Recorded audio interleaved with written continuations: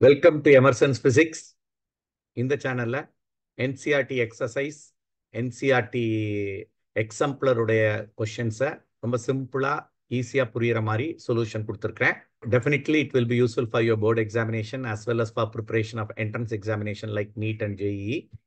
Please subscribe and follow. Explain why. A body with a large reflectivity is a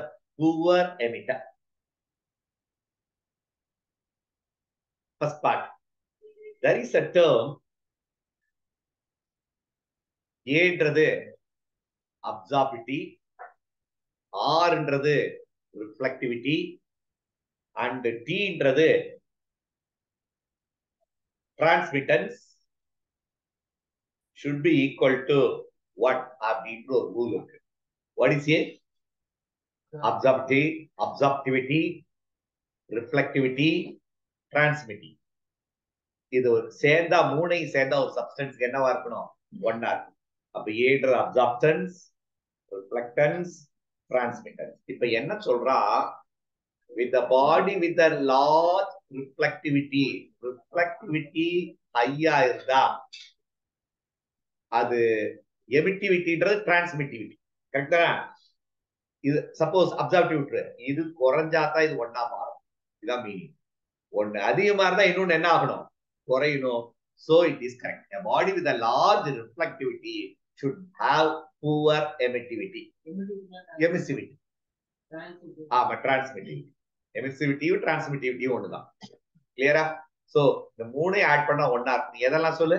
Absorptivity absorption reflection and transmission ஒரு சப்ஸ்டன்ஸ்ல ஒரு பாடியில light விழுது. என்னென்ன நடக்கலாம்?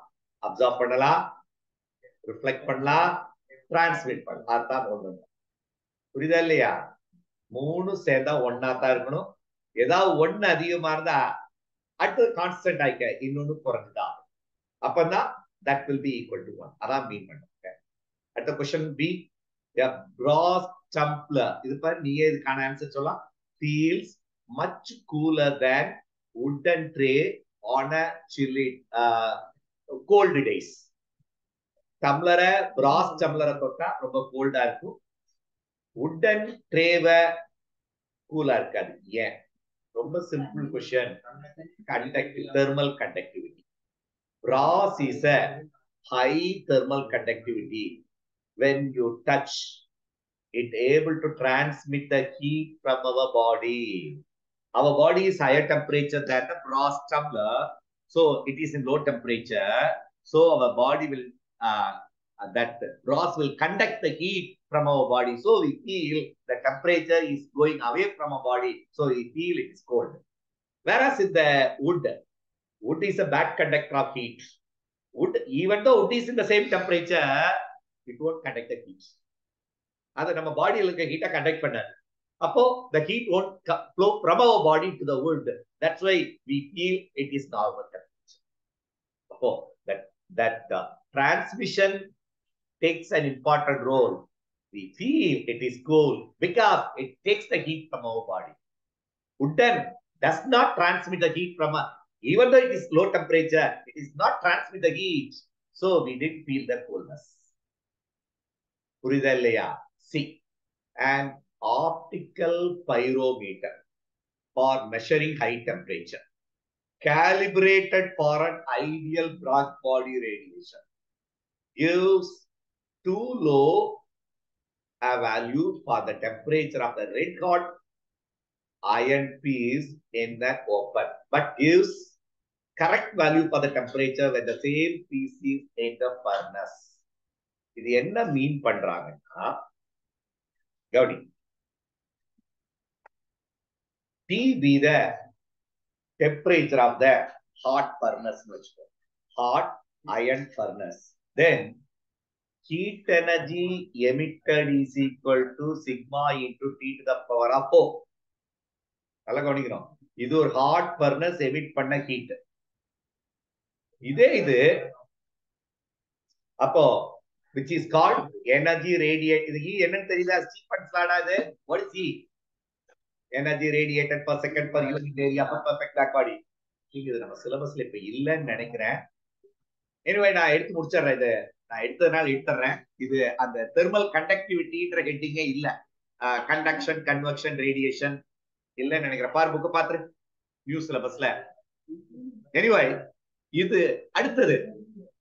when it is in the surrounding formula will become sigma into t to the power of minus 1 by t naught to the power of 4 இந்த ரெண்டு heat எனர்ஜியை பார்த்தேன்னா E1 will be less than E அதான் இதுக்கான answer இது ஃபர்னஸ்க்குள்ள surrounding டெம்பரேச்சரும் தான் இதே formula தான் இப்ப வெளியே எடுத்து there is a surrounding temperature அப்ப E dash will be less than E அதான் இந்த இடத்துல மீன் பண்றாங்க question D the earth without its atmosphere would be inhospitality or inhospitable cold என்ன மீன் பண்றாங்க if there is no atmosphere we cannot live in the earth it will become very cold yes very good our atmosphere play an important role to trap the heat radiation அதுக்கு என்ன பேரு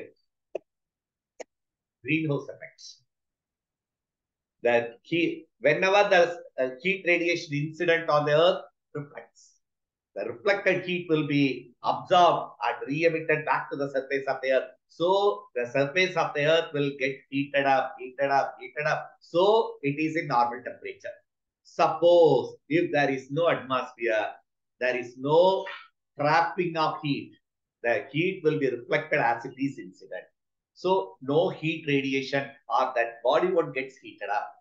Without heating up, the radiation will go out. So automatically, in Earth become very, very low temperature, we cannot able to live. So atmosphere only holds the temperature and maintain the high temperature of the surface of the Earth. புரியுதா இல்லையா அடுத்தது போலாம்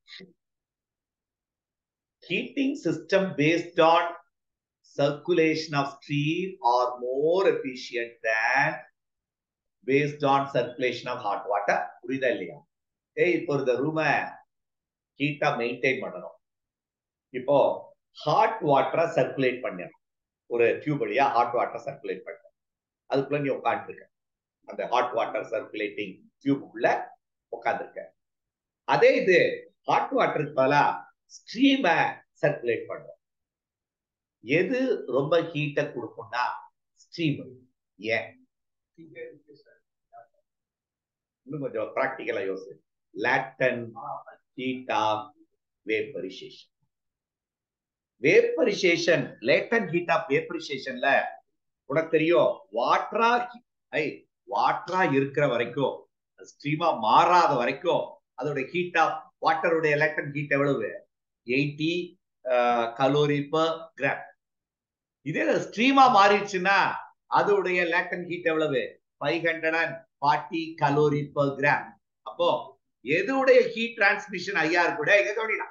எதோட heat transmission அதிகமா இருக்கும் steam that's why it can able to warm up the place surrounding very well because it has more latent heat இதுக்கு இன்னொரு பேரு தெர்மல் கண்டக்டிவிட்டி ஹீட் கெப்பாசிட்டி ரெண்டு ஒண்ணுதான். லேட்டன் ஹீட்டும் தெர்மல் கெப்பாசிட்டி ஒண்ணுதான் ஜூல்ஸ் பர் எவ்வளவு? கேஜி பர் கெல்வின் அதனால heat transmission எதுலதான் அதிகம் இருக்கும் வேப்பர்லாம் because it has late greater latent heat of vapour என்னது எவாப்ரேஷன்